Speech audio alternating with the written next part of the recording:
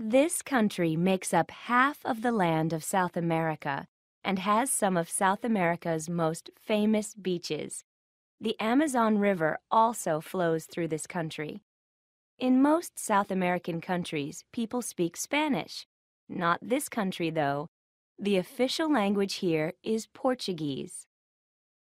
This country is located on the eastern Mediterranean Sea.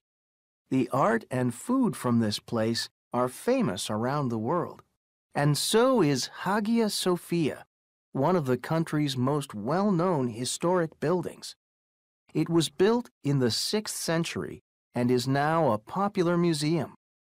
Several languages are spoken here, including Arabic and English, but Turkish is the only official language. This is a very, very old country and culture. People come from all around the world to see the Great Pyramids near the capital, Cairo.